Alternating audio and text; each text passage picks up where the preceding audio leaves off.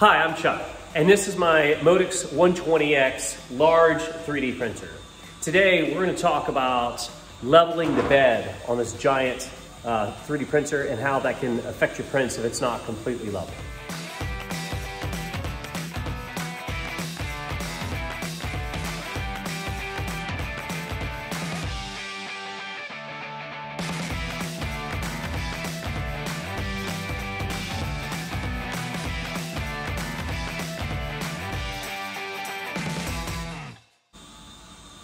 Now, there's a couple of things that are super important when you're doing a 3D print, any 3D print, let alone a large 3D print.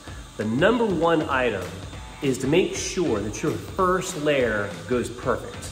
And one of the things that you can do right off the bat to make sure that that happens is make sure that your bed is as absolute level as possible.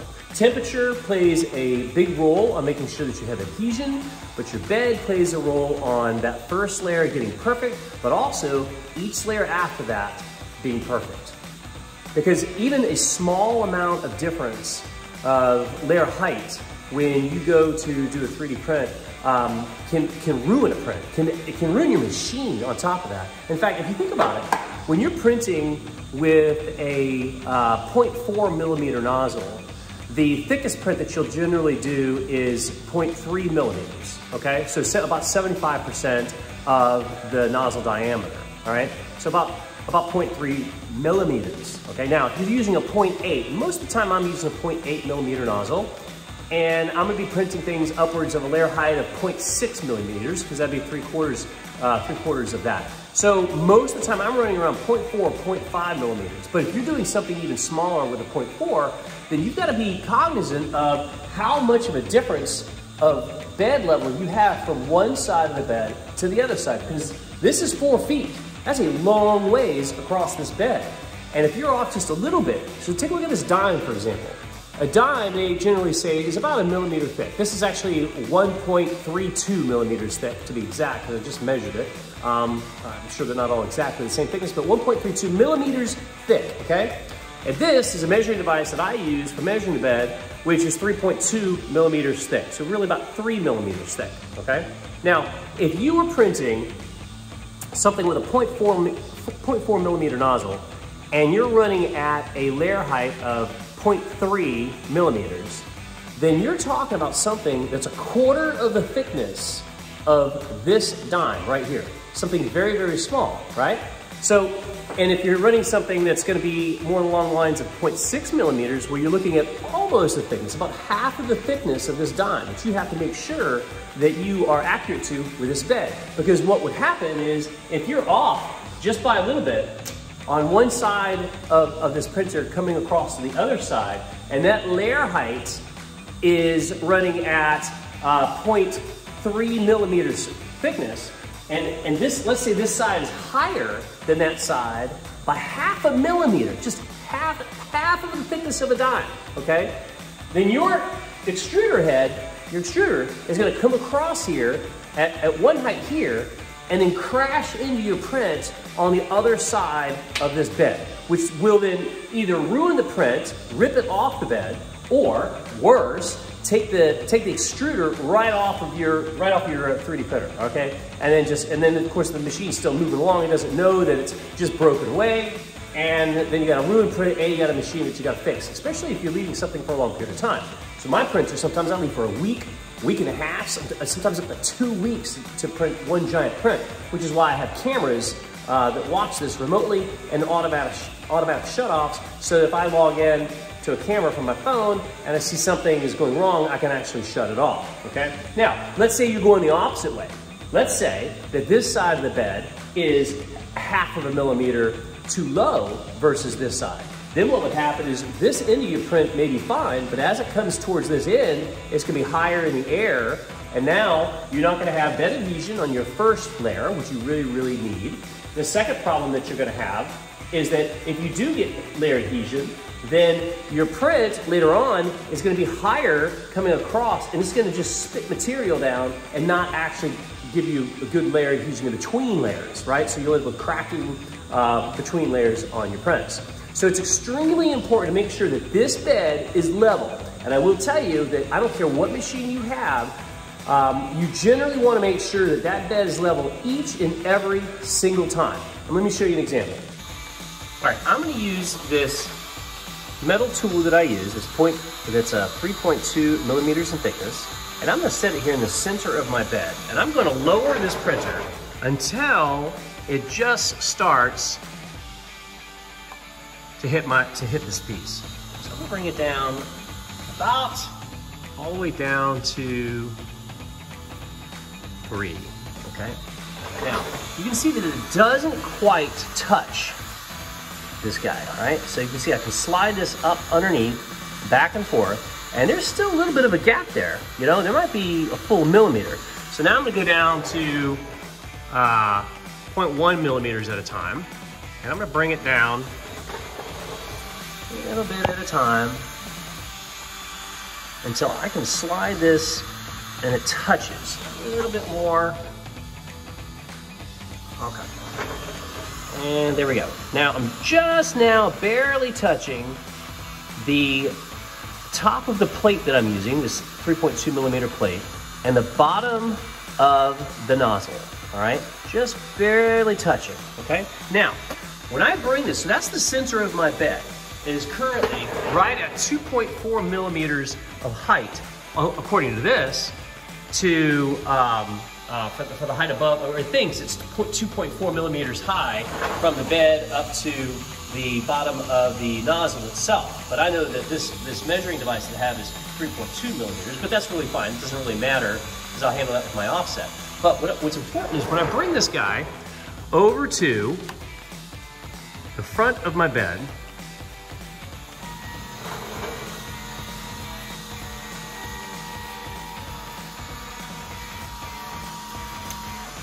Now I can see now that when I come over here, I'm actually hitting this. I can't slide underneath. Now I just did a print that took 35 hours and went up about 180 millimeters in height, okay? So something happened during the whole process of this print where this bed is no longer completely level. Now, the beds generally aren't, especially this size bed, are not completely level anyway. Um, and that's why there's a process with, during the setup here where you're, where you're telling the machine to pick 100 points and as part of your calibration so that it knows that.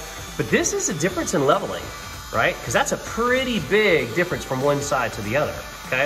In fact, if I then bring this thing down to the other side, for comparison,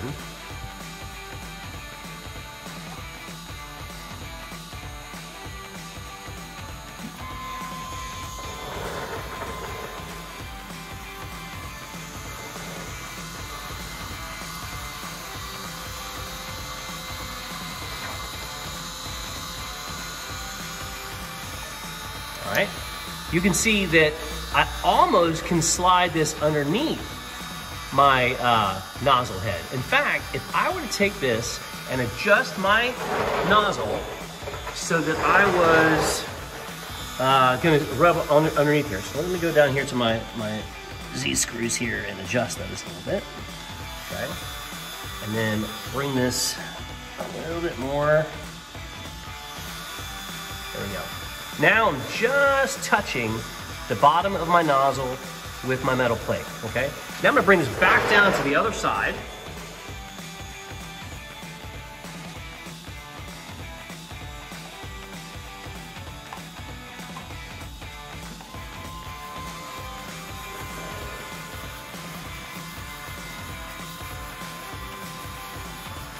Let's see how much of a difference we have here. Okay. So now you can see it does not, the plate does not go underneath, okay? In fact, if I come over here and I lower this bed, so I'm gonna come out of my calibration here and go to my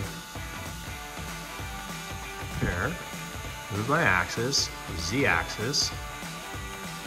All right, we're gonna see how far off this actually got. So we're at 2.4.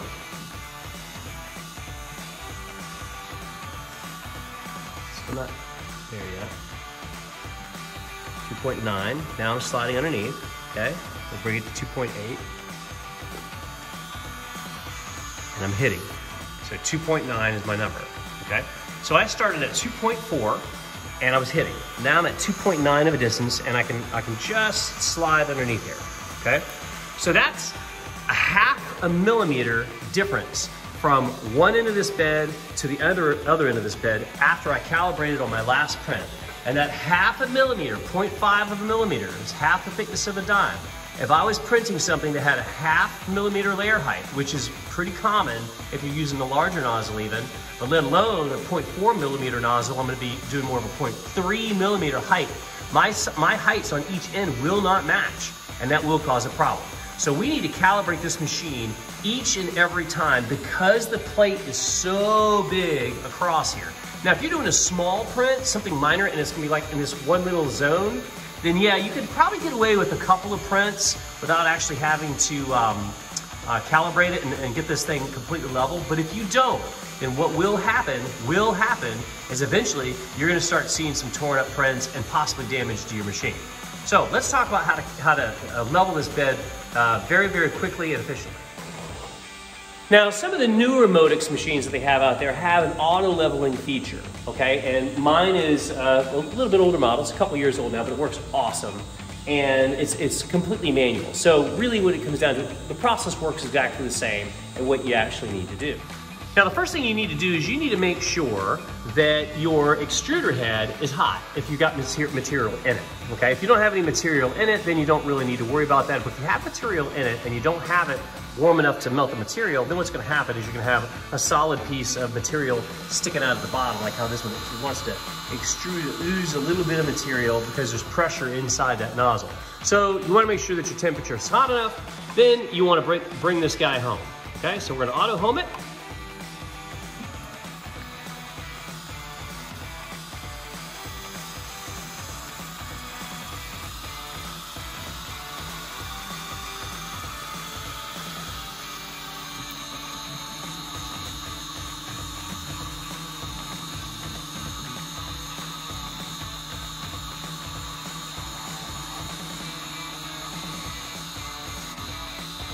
Okay, and then the next thing we're gonna wanna do is we're gonna come over to the software itself, and we're gonna begin our process for calibration and uh, for the tilt. So we're gonna go, first thing we need to do is we need to go to 100, uh, 120X calibration or whichever Modix you have, and come down and skip past tilt calibration and go down to unified bed leveling, select that, and then come down to the bottom and, and deactivate UBL, okay?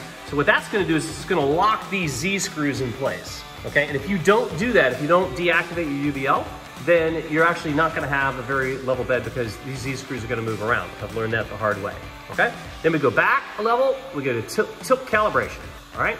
And underneath tilt calibration, step one is start process. Okay, and that'll bring the head to the center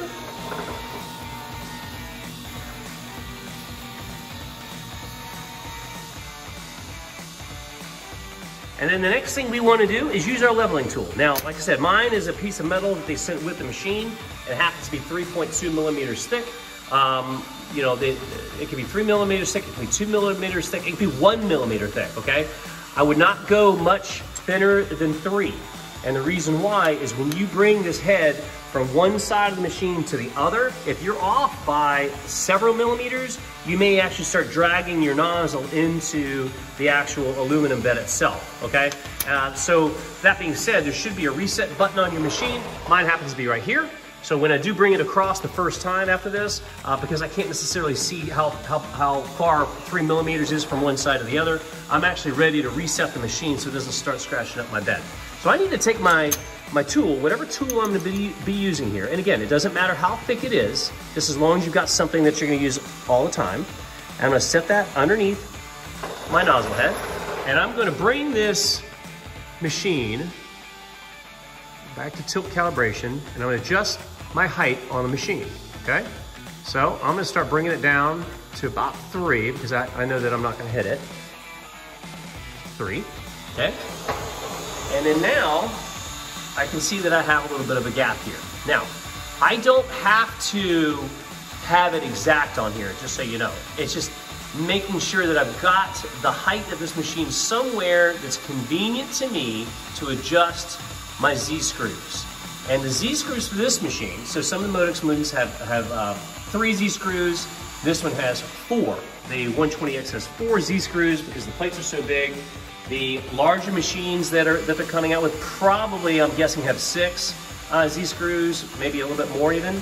Um, but my machine has four. And each one of these Z-screws has an adjustment knob for the belts right here. And this is what you adjust in order to be able to raise or lower that section of the bed. And there's four of these. One, two, three, four, okay? So what I wanna do is get this close to level. So I usually bring mine to three, right up, in other words, right above it.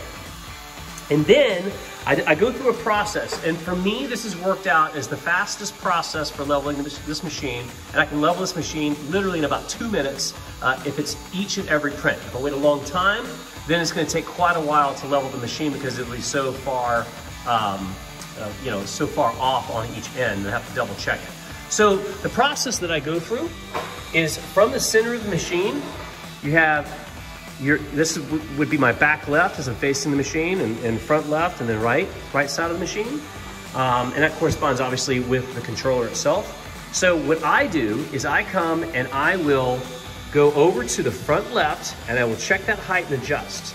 Then I will go to the back left and check that height and adjust. Then I come back to the front left and check it and adjust. So that way, that means that I'm level here now, right? I've done three point adjustment. Then I slide down to the right-hand side and I do the front right. Then I go to the back and I do the back right. And then I come back again to the front for the front right, which now means that this side is perfectly level, okay? And then if I, once I'm done with that, I'll bring it back to the front left and double check. And if everything is perfect and I'm, and I'm, you know, I just have to adjust a touch or not at all, then I'm good to go. I go back to my far back left and I check one last time there. If I have minor measurements, or uh, sorry, minor um, uh, adjustments that I have to make, then I'm all set and my bed is level. If I have to keep it tweaking with these things back and forth, then I need, I'll run around a second time, okay? So let's run through the process. All right, so here we are. We've adjusted down. So I'm gonna come here, I'm move axis, go to my calibrate left, and I'm coming to my front left screw.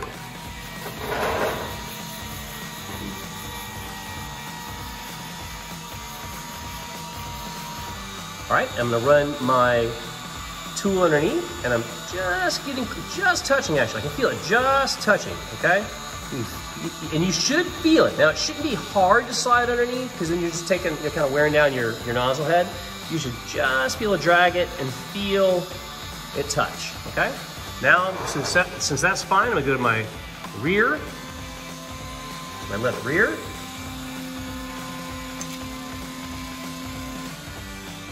okay? And again, same thing. I'm gonna come back here and I'm gonna try to just go underneath and I can clearly just feel it. So I can, I can barely feel it, okay? So that means this side is already level. If not, then I would adjust my screw. So I'm gonna bring it back to my front.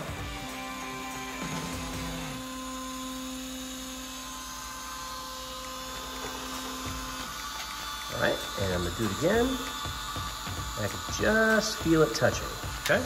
So now, I'm gonna bring it to calibrate right. I go to my front right screw.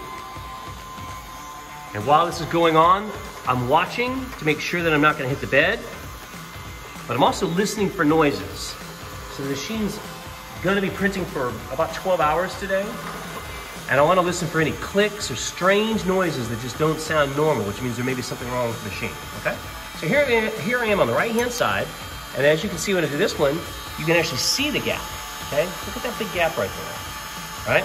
So to adjust this, you can either tighten or loosen this adjustment knob, okay? Which the adjustment knob is connected to the belt, the belt is connected to the Z-screw, turn the adjustment knob, Z-screw moves, uh, you can move the Z-screw too if you want, but I found that this way is a little bit easier to get a little bit more fine tuning. So if I turn this knob to the right, then this bed will raise. If I turn the knob to the left, counterclockwise, the bed will lower, okay? So right raise, left lower. So I need to raise this bed a little bit. So I'm gonna come down and I'm gonna turn it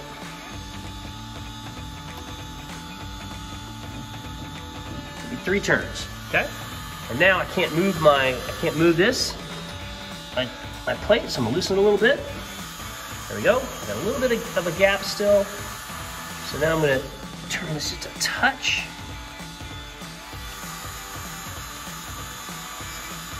Still got a little bit of a gap. A little bit more. There we go. Okay, now I'm starting to drag, okay? All right, so now I'm gonna bring it to the left hand, or the uh, right hand side to the back.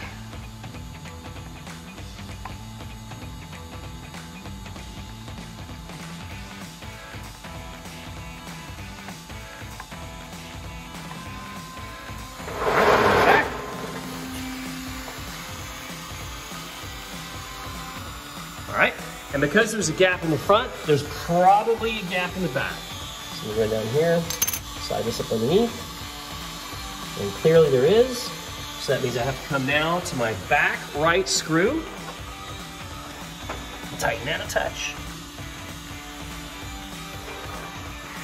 Come up. There we go. I'm hitting, so I need to loosen it.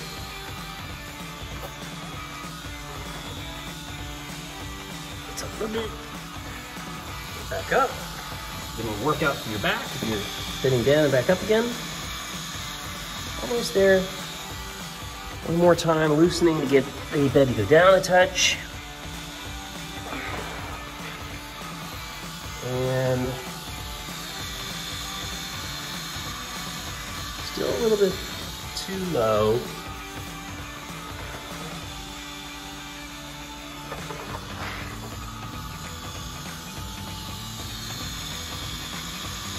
There we go. Now I'm just barely touching, okay? So because I moved this bed a little bit in the back right, it might have it might have changed my adjustment in the front right, okay? And that's why I come back and I'll come back and I will go to my tilt calibration again, go to my right, and now I'm gonna bring it to my front right and double check it.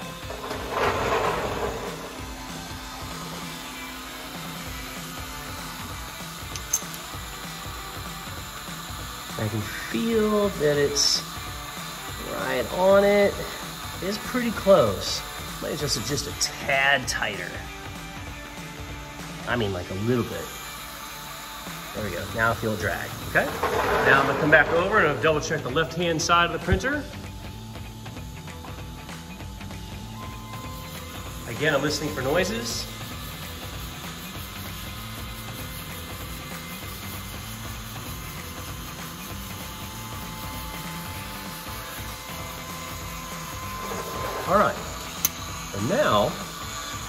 Feel I'm um, just a little bit, I mean, again, just a, a touch too high. I'm gonna tighten it just a itty bitty bit.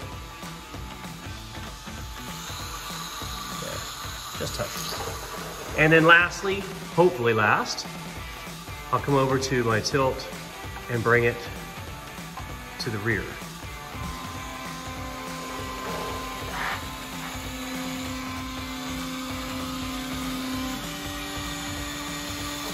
End. This is a tad high now, so I'm gonna bring it come down. And this one just tighten it a little bit. Just itty, itty, itty bit. Okay, up here. Still not quite. So, one more time here. And oh. now I got it. Actually, it actually might be a bit too much. I'm losing just a touch. Because I mean, I want this thing dead on. And perfect. Okay.